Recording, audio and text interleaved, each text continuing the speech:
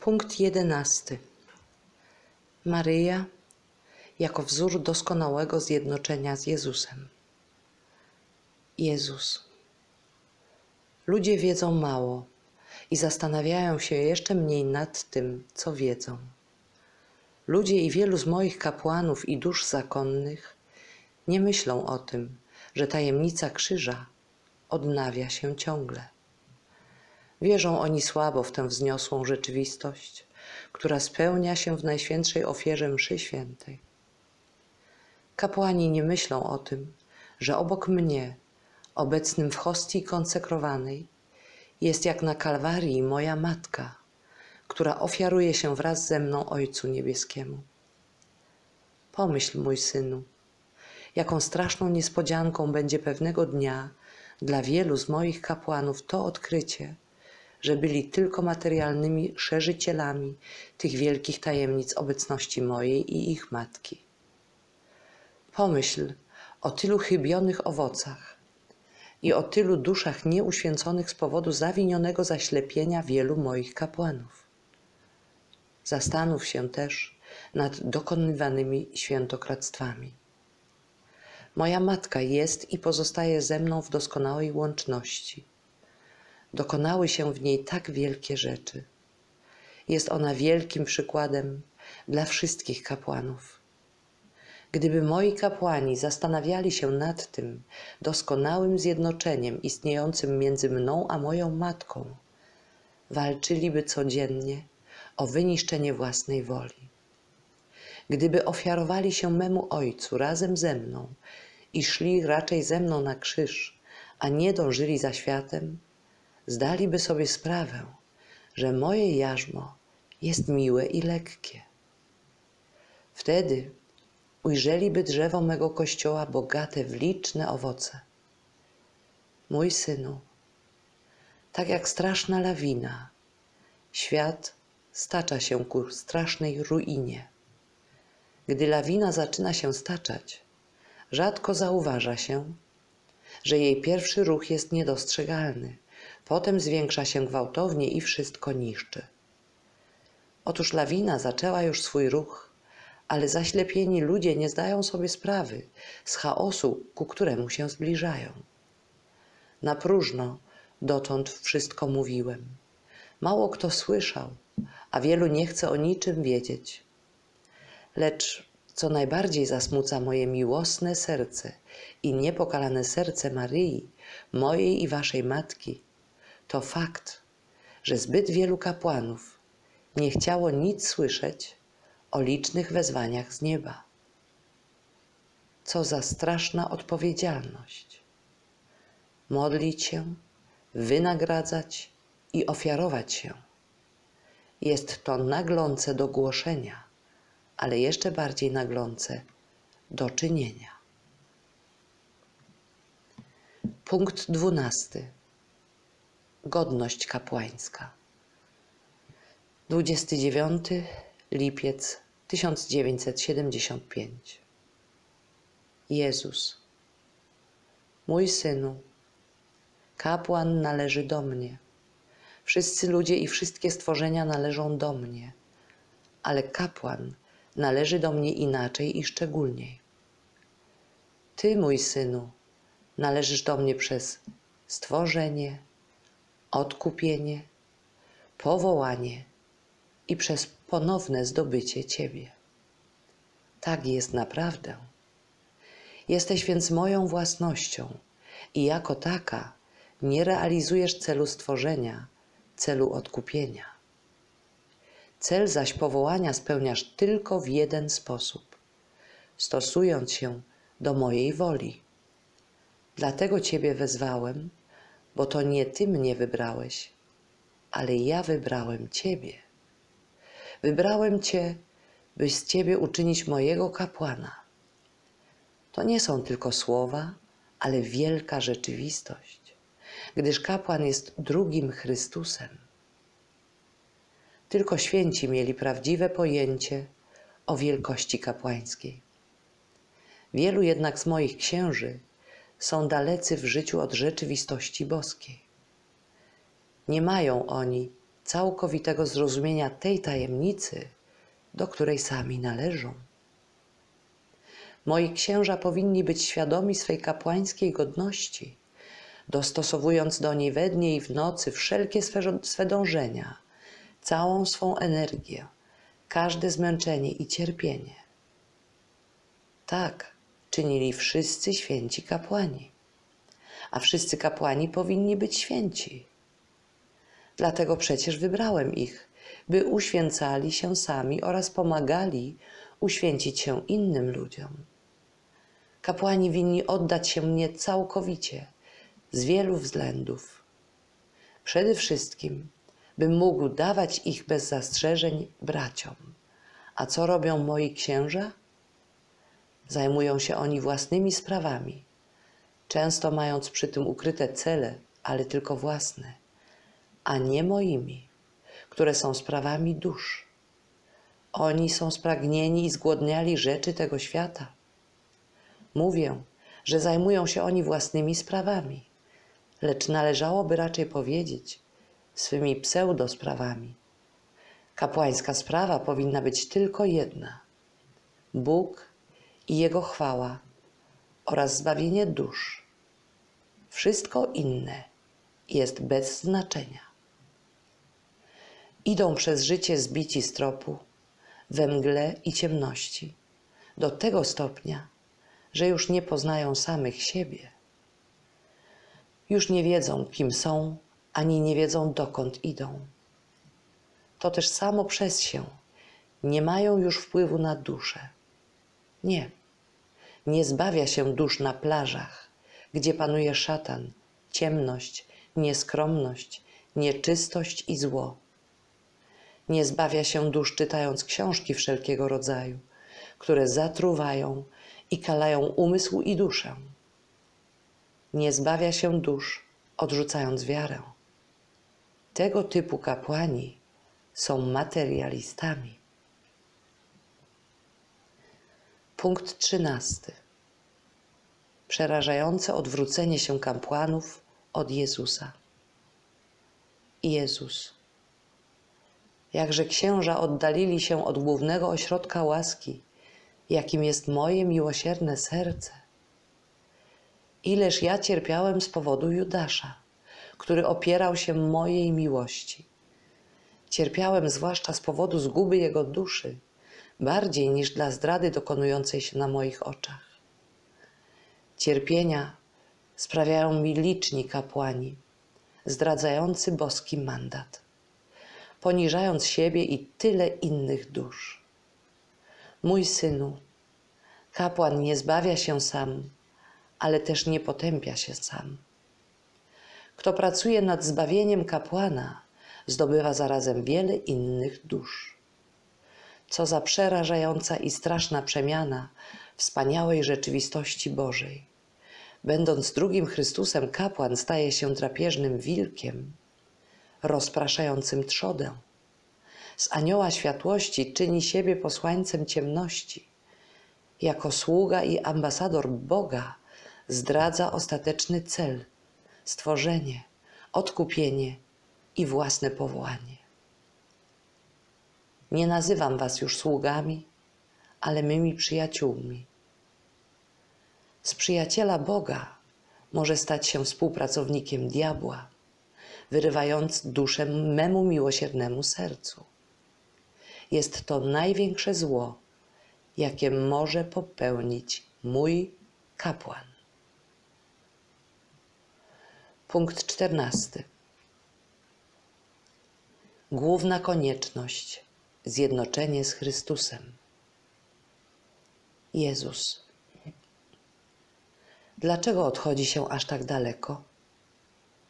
Dzieje się tak, gdy ktoś oddala się od źródła światła, pozostaje najpierw w cieniu, a potem wchodzi w ciemność.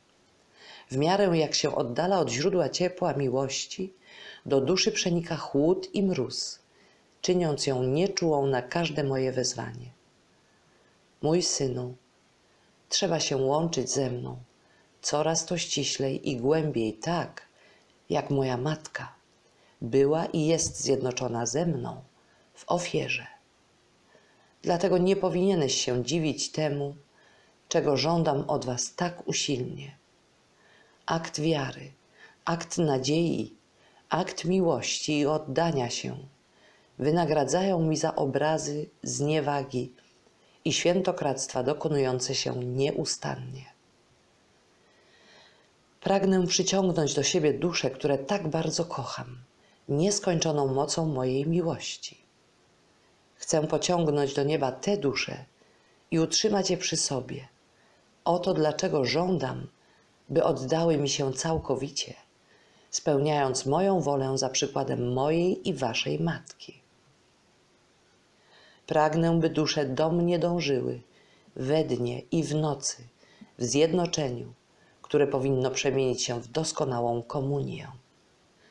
Staje się to wtedy, gdy miłość do mnie jest prawdziwa, wielka i gorąca. Wtedy dążenie do mnie aktami wiary, nadziei, ufności i ofiary stanie się jakby drugą naturą, potrzebą i waszą główną koniecznością. Jak nie można żyć bez oddychania, nie będzie się mogło żyć beze mnie.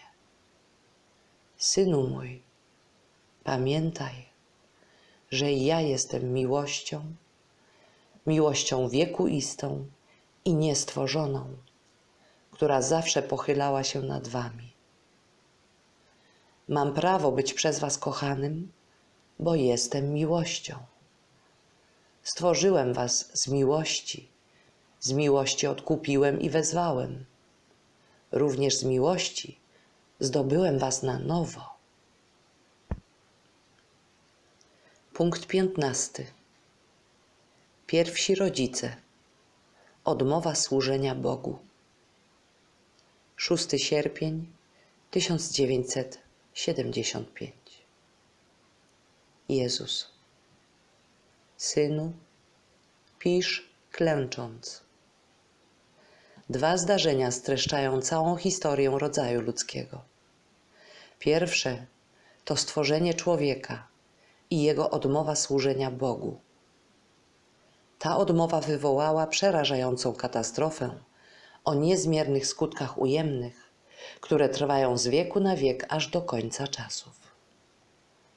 Obecne pokolenie, zwiedzione ciemnymi mocami piekła, całkowicie zmaterializowane, nie pojmuje tej okrutnej tragedii, która wstrząsnęła naturą ludzką, raniąc ją śmiertelnie, osłabiając i pozbawiając wzniosłych darów, z jakimi była stworzona. Ludzie nie pojmują już swego nieszczęścia, w jakie zostali wciągnięci osobiście i społecznie. Wojny i rewolucje, epidemie, powodzie i trzęsienia ziemi, kataklizmy, boleści, cierpienia mają swoje źródło w buncie pierwszych ludzi. Lecz wszystkie te ziemskie i ludzkie przeżycia, czymże one są w porównaniu do tragedii wiecznej zguby całej ludzkości? Drugie to rozwój historii rodzaju ludzkiego, a przede wszystkim tajemnica wcielenia, śmierci i zmartwychwstania Syna Bożego, jako dzieło Trójcy Przenajświętszej, postanowione przez nią samą, jako skuteczna odpowiedź ograniczająca niszczące wysiłki szatana. Tajemnice te stały się obroną i wykupem ludzkości z niewoli złego ducha. Tylko sam Bóg mógł dokonać takiego odkupienia. Okropnością tego przewrotnego pokolenia jest to, że nie zna i nie chce znać cudownej tajemnicy zbawienia, która jest wyrazem nieskończonej miłości Boga do ludzkości. Synu mój, czy mogłem dać większe dowody miłości do człowieka, dla jego zbawienia nad te, jakie dokonałem przez moje wcielenie, moją śmierć i moje zmartwychwstanie? Czy mogłem dać większą, większe świadectwo nad urzeczywistnienie tajemnicy krzyża poprzez najświętszą ofiarę mszy świętej? Czy można znaleźć coś analogicznego w całej historii narodów na Ziemi? Czy potrzebne są inne dowody wiary? Dałem ich bardzo wiele, ale nikt ich nie szuka. Ile to cudów eucharystycznych dokonałem w czasach przeszłych i obecnych? Ludzie nie chcą wierzyć. Oni boją się być przymuszani do wiary w Boga. Punkt szesnasty. Olbrzymi konflikt między światem i ciemnością. Jezus.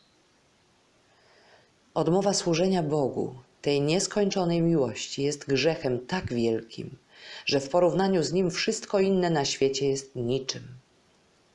Naczynie sprawiedliwości jest pełne i przepełnia się. Tylko moja cierpliwość i łaskawość, modlitwy dobrych i wstawiennictwo mojej matki oraz zasługi świętych wstrzymują wylew mojej boskiej sprawiedliwości. To materialistyczne pokolenie nie wie nic o tym, co dotyczy tych dwóch wielkich faktów zawierających streszczenie całej historii rodzaju ludzkiego. A jeśli coś wie, to tylko bardzo niejasno. Dzisiejsi ludzie nie wiedzą, że są w środku walki, olbrzymiego konfliktu, jako przedmiot i ofiara. Wszyscy ludzie są wciągnięci w to straszne starcie między światłem i ciemnością, między dobrem i złem, między prawdą i błędem, między zbawieniem i potępieniem. To przewrotne pokolenie nie dba zupełnie o poznanie tego, co dokonał i dokonuje Bóg Stwórca, Zbawiciel Słowo, które ciałem się stało, Duch Święty Uświęciciel, by uchronić je od ruiny i potępienia wiecznego. Ludzie zmaterializowani nie znali i znać nie chcą wszystkich starań mojej i ich matki. Nie znają oni moich orędzi. Nawet kapłani boją się i wstydzą mówić o nich. Ludzie tego przewrotnego wieku odrzucają przejrzyste wody prawdy.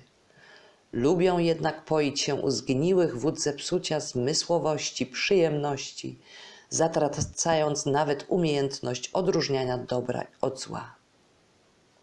To poznanie, które wszczepiłem w ludzką naturę. Synu mój, jestem pełen wstrętu i znosić już tego nie mogę. Jak długo jeszcze będziecie nadużywać mojej cierpliwości? Oto dlatego i dlaczego żądam od Ciebie aktów miłości i wynagrodzenia. Oto dlaczego żądam, byś się modlił. Niech ani jedna godzina dnia nie upłynie bez wzniesienia Twej duszy ku mnie aktami wiary, nadziei i miłości, skruchy i pokory. Wtedy dasz mojemu sercu odrobinę radości. Och, nie odmawiaj tej odrobiny radości Twojemu Jezusowi. Kochaj mnie, mój synu. Błogosławię Tobie i tym wszystkim, za których modlisz się teraz. Punkt 17. Częste akty miłości, wyrzeczenia, skruchy i ofiary. 21 sierpień 1975. Jezus, mój synu, nazywasz siebie małą kropelką mętnej wody spadającej w dół. To ja tak Ciebie nazwałem, byś lepiej zrozumiał rzeczywistość życia. Powiedz mi, czy mała kropelka spadająca w dół może sama zmienić swą drogę i wznieść się do góry? Powiedz mi, synu, czy dusza osłabiona grzechami pierworodnymi i winami aktualnymi może z dołu, dokąd dąży, wznieść się sama o własnych siłach ku górze? Nigdy. Absolutnie nigdy.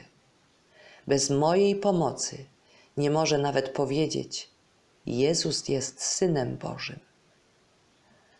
A więc moja kropelko mętnej wody, chcę Cię uwolnić od wszelkich śmieci i uczynić czystszą od rubinu. Tylko wtedy będę mógł Cię pochłonąć i będziesz mogła rozpłynąć się we mnie przez wieczne zaślubiny i stanowić ze mną jedno. Oto dlaczego żądam od Ciebie wyrzeczenia się czytania gazet, dzienników i oglądania programów telewizji. Oto dlaczego żądam od Ciebie i nalegam częstych aktów miłości, wyrzeczenia, skruchy i ofiary. Dlatego również nalegam na słowa wierzyć, ufać, kochać, modlić się, milczeć, przyjmować, cierpieć, ofiarować, uwielbiać. Wtedy moje dary wiary, nadziei i miłości będziesz wprowadzać w czyn dzień po dniu, godzina po godzinie, dokonując swego uświęcania. Punkt osiemnasty. Podstawowa cnota pokora. Jezus.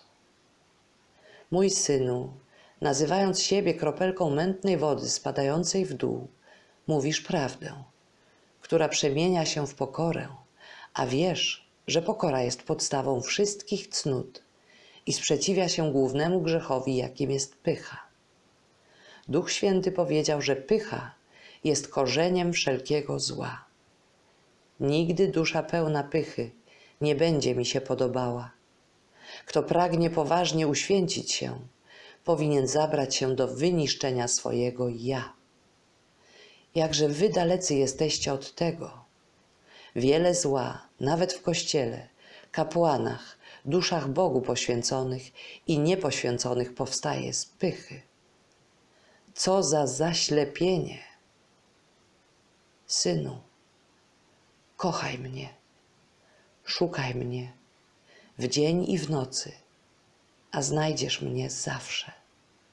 Wiesz dobrze, dlaczego. Punkt dziewiętnasty. Budowy materialne, wiele liści, a żadnego owocu.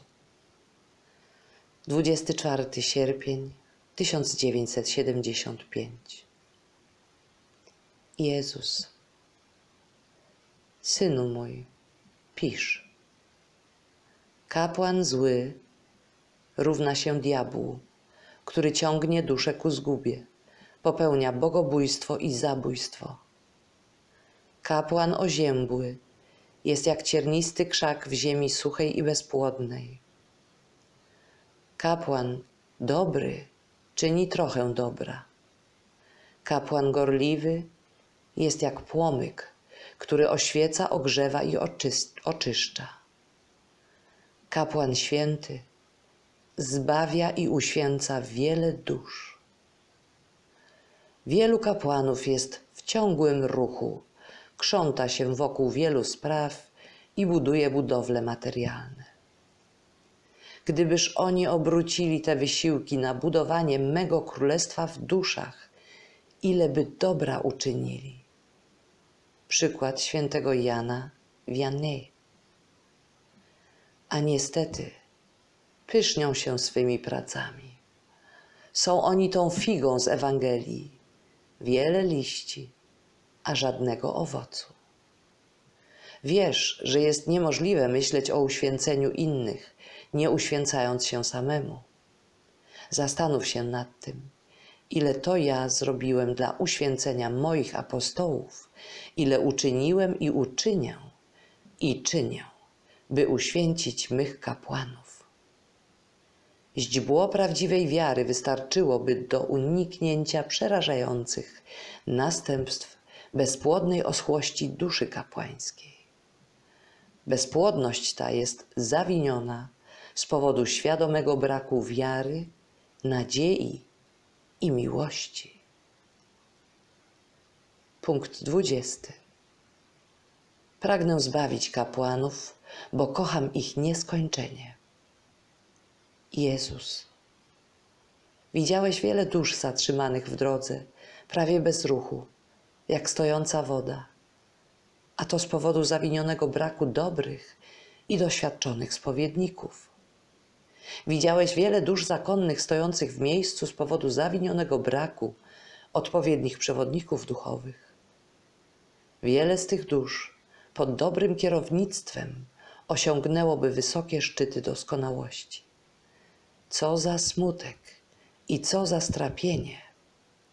Wiele dusz nie osiągnie celu swego wielkiego powołania z powodu zaślepionej niezdolności tych, którym zostały powierzone.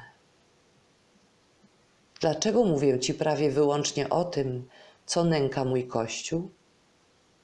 Bo lekarz troszczy się o chorego, a nie o zdrowego.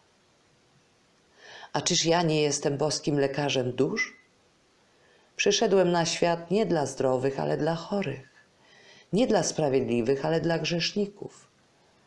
A któż jest bardziej potrzebujący nad kapłana, któremu brak życia wewnętrznego? Chcę zbawić tych kapłanów, bo kocham ich nieskończenie. Pragnę ich nawrócenia. Mówię nawrócenia, bo jest ono im prawdziwie potrzebne. Synu, chodzi tu przecież o ich duszę i o ich zbawienie lub zgubę wieczną. A więc módl się i wynagradzaj. Jest to obowiązek sprawiedliwości i miłości. Ofiaruj mi owe cierpienia i kochaj mnie. Błogosławię Ci.